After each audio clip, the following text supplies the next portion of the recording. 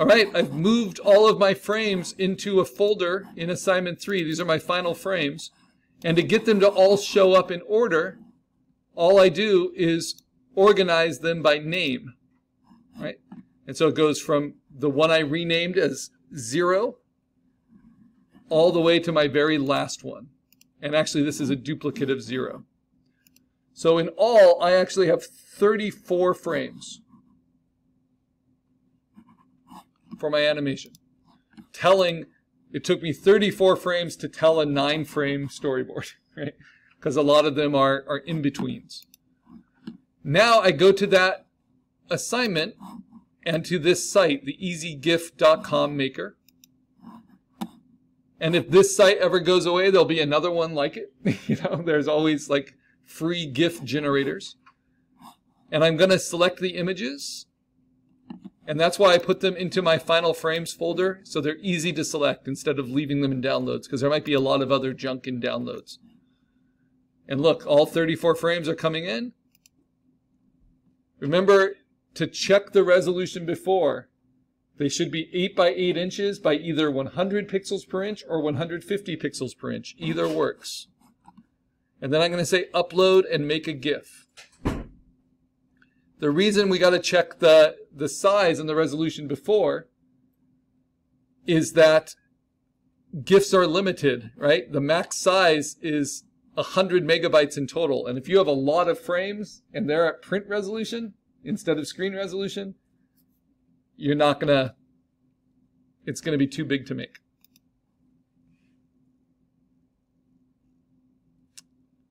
I chose the files. Come on. And then I think I had this problem when I tested it.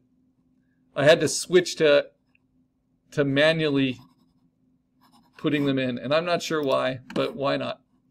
It just won't automatically do it, though it's supposed to based on its numbering. So I'm going to take zero first, put it in. One, two, three, four, and remember, you just got to be patient with it. This is a free website. Five, six, and this is just what's called post-processing.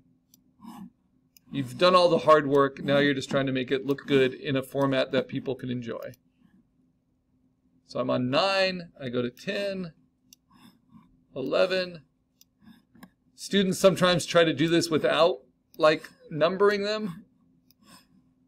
And it's, it's just a nightmare. So however you can stay organized.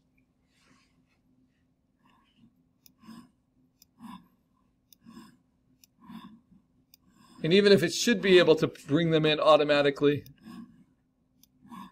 this is the real experience of controlling the order of each frame because how is animation showing us movement? It's just controlling the time that you're viewing sequential images. That's why it's called time-based media.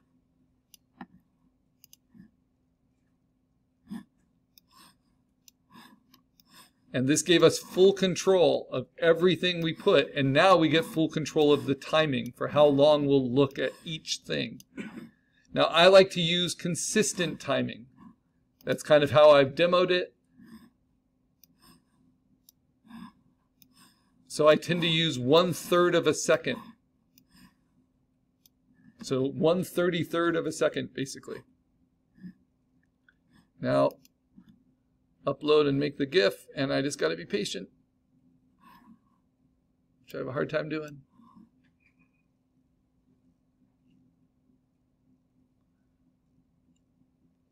And if I'm worried, I can open up one of my files in preview and just make sure under Adjust Size that it is 8 by 8 inches by either 100 or 150.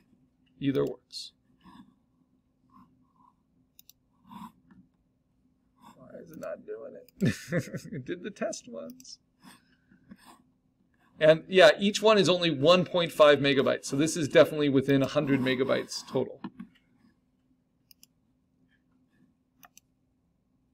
Ah. Annoying. All right, Let's do it again. I don't know, easygif.com. Feels like it could be easier.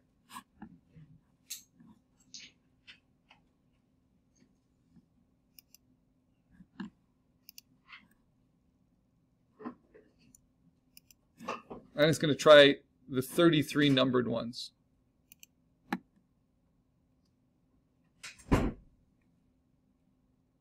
Just going to try to wait.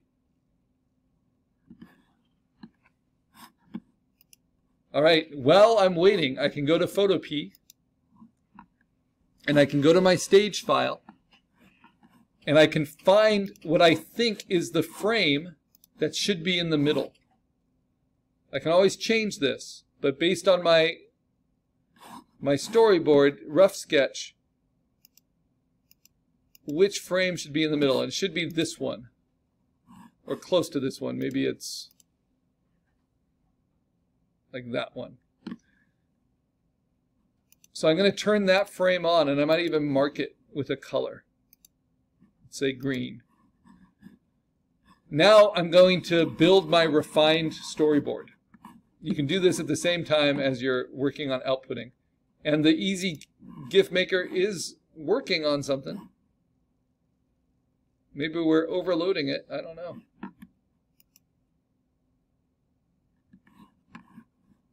But I, I go to Photopea and I'm going to use my rulers. So if the rulers are not turned on, go to View and Rulers.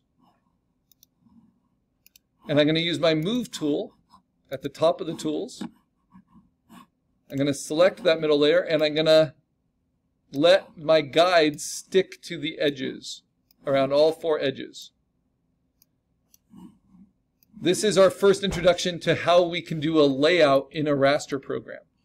So what we want, this is our whole stack of animation cards, right? Like a flip book. We want to tear out certain pages of that flip book and put them as nine really clean storyboard frames.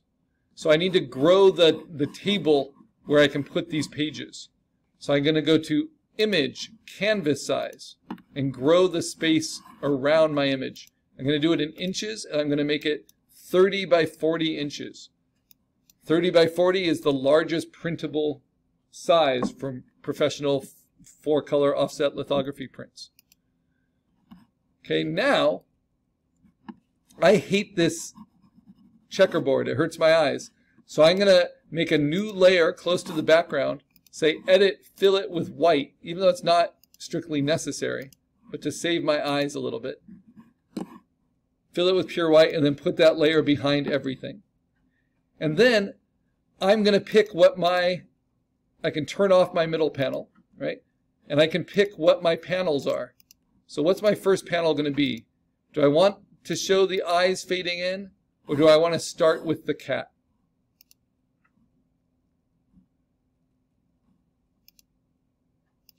And I think I'll just start with the cat. Maybe with the cat in layer 6, kind of faded out. Oh, but look, if I do it this way, they're all going to be right next to each other. So that's not good. So before I do that, I need to make gutters. And to do that, I'm going to go to View, Show, Grid. Grid is different than guides. Grid is based on the pixels. And I want to go an even distance on all sides of my center image. So I'm going to make a guide. And let's see, I'm going to go from 1600 to 1400. That's the equivalent of an inch and a half. As long as it's the same dimension on all sides, you'll have a good storyboard. So I'm going to go from 2400 to 2200 pixels. And here I'm going to go from 2800 to 3000 pixels. Oh no, I think that's going to be, let me turn off the grid. Yeah, that didn't catch.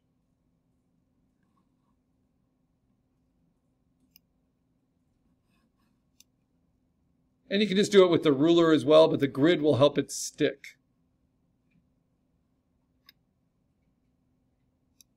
You know, evenly on each side.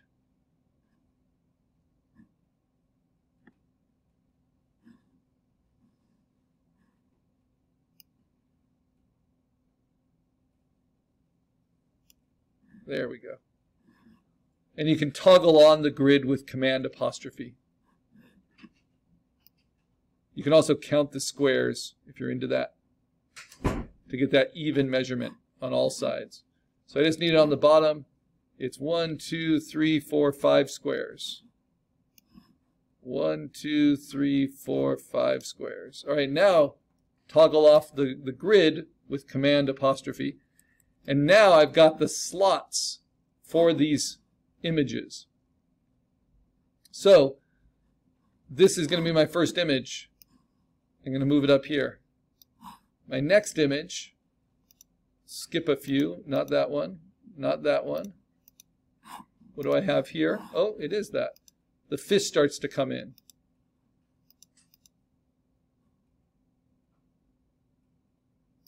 That's going to be my next one. Oh, not that. Just this.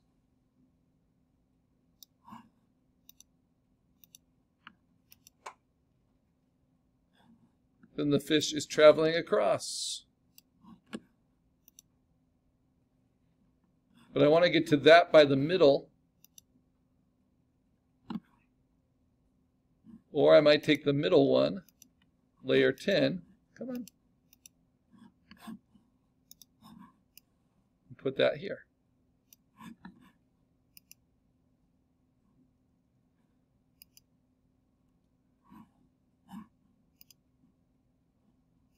So now this is actually the middle.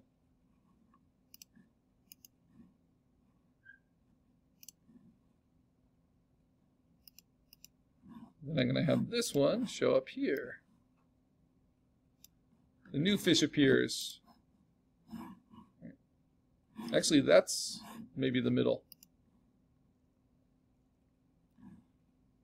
So I'll turn this one off. I'll make this one the middle. So just whatever you think tells the clearest story, kind of in this comic book storyboard form.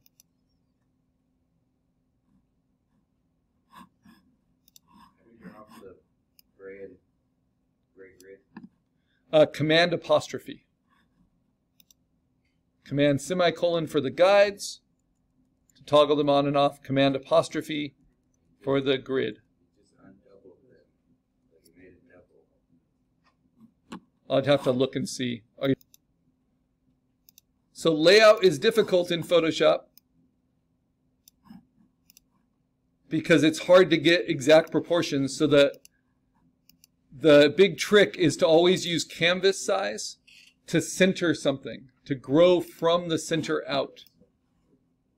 And then to use your guides and grid to measure from the center out.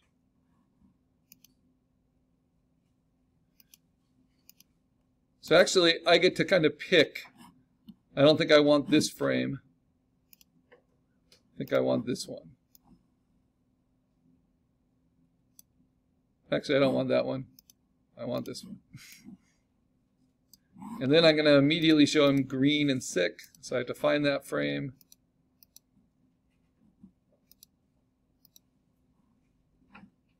This doesn't have as much room for subtlety as your animation, right?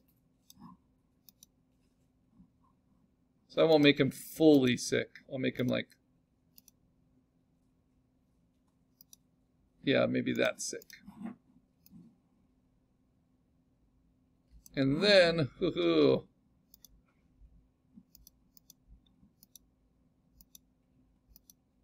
maybe I'll even combine these two together a little bit by playing with opacity. And then merge them because this is just for your storyboard. You're going to save this as a different file name than your stage. Ah, but I cropped it. So that's annoying. So I'm going to use this, use my guides. Because remember, I grew that one a little bit and I didn't crop it at the end. So I'm going to center it. It's all going to be fine, but this is why we want to get good layout, especially for stuff we print.